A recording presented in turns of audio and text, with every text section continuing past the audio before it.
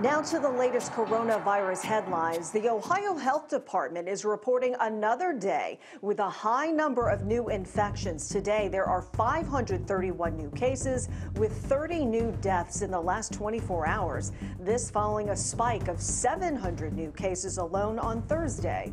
When it comes to the spread of the virus, some states are managing to keep their numbers very low. Montana, Alaska, and Hawaii are among the states reporting the lowest number of cases. Those states have some of the strictest quarantine rules in the nation. As states have reopened for business, health experts warn that the pandemic is not over and that many people remain vulnerable to the disease.